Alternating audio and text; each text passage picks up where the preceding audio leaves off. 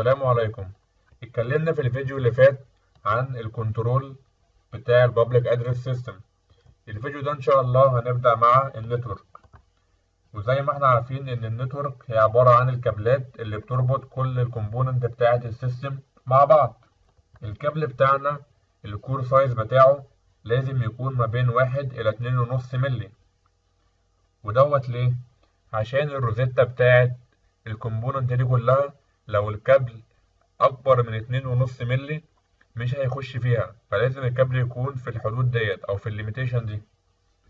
وطبعا لازم يكون 1 pair يعني فردتين كابل فردتين زي كابلات ال fire alarm عشان أعمل size للكابلات ديت بيعتمد على ثلاث حاجات.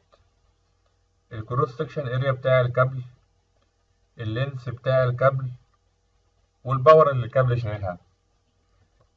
ده جدول من أحد الكتالوجات. هنلاقي في الصف اللي فوق دوت حاطط ال cross section area بتاعة الكابل وفي العمود دوت هنلاقيه حاطط ال power وهنا الطول المناسب بالنسبة لل cross section area مع ال power الفلانية. يعني لو عندي power 30 واط واستخدمت كابل واحد مليمتر مربع هقدر إن أنا أمشي بالكابل دوت مسافة اتنين كيلو. ديت ال maximum length أكتر من كده ال performance بتاع ال system مش هيبقى كويس.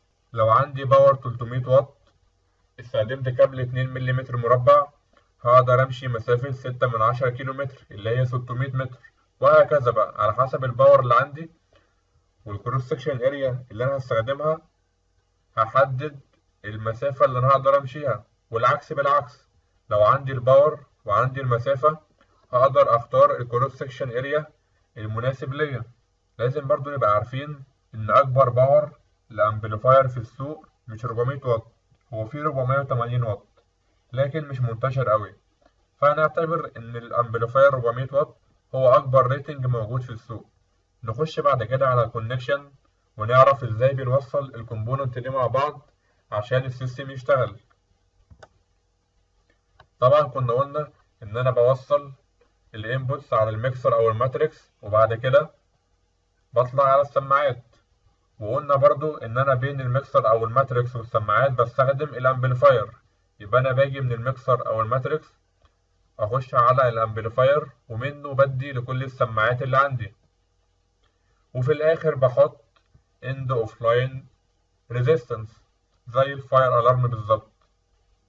أو زي ال conventional fire alarm system تمام؟ لو هنوضح الموضوع أكتر هنلاقي هنا amplifier بطلع بكابل 1 pair يعني فردتين أخش على السماعة الأولى بعد كده السماعة التانية التالتة وهكذا. وفي الآخر خالص بحط end of line resistance. ناخد مثال على طريقة حساب ال power بتاعة ال amplifier ونشوف بنحسبها إزاي. لو أنا مثلا عندي مشروع صغير فيه سبع سماعات من النوع ال type A والنوع ال type A دوت ال power بتاعة السماعة 3 واط وعندي تلات سماعات من النوع type B اللي ال power بتاعتها ستة واط. بالتالي أقدر أحسب ال power الكلية بتاعت السماعات اللي عندي اللي هي عبارة عن سبعة في تلاتة زائد تلاتة في ستة. وزي ما قلنا إن إحنا بنزود عشرين في المية spare بالتالي هضرب في واحد واتنين من عشرة. هيطلع ال power الكلية اللي أنا محتاجها ستة وأربعين وتمانية من عشرة واط. لو رحنا على الجدول اللي فات هنلاقي إن أقرب rating لل amplifier هو خمسين واط هفترض إن أنا همشي مسافة تلاتة كيلو بالتالي هستخدم كابل مساحة مقطعه اتنين مليمتر مربع. يبقى أنا كده عرفت إزاي أحسب ال power بتاعة ال amplifier وإزاي أحسب ال cross section area بتاعة الكابل. هنقف لحد هنا في الفيديو دوت. والفيديو الجاي إن شاء الله هنتكلم عن ال distribution بتاع البابليك ادرس سيستم شكرا.